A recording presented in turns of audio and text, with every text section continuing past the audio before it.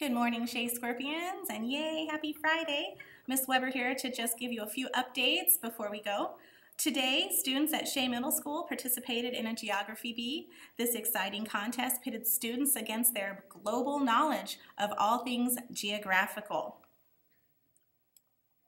Each year, thousands of schools in the United States participate in the National Geography Bee. This contest is designed to spark student interest in the subject and increase public awareness about geography.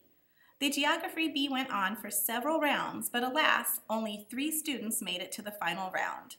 Congratulations to these world-savvy kids, Jacob McCabe in third place, Shibon Kelso in second place, and a very special congratulations to Dominic Begay, who beat out everybody to land squarely in first place with his amazing global knowledge. A heartfelt thanks to all of the students who participated.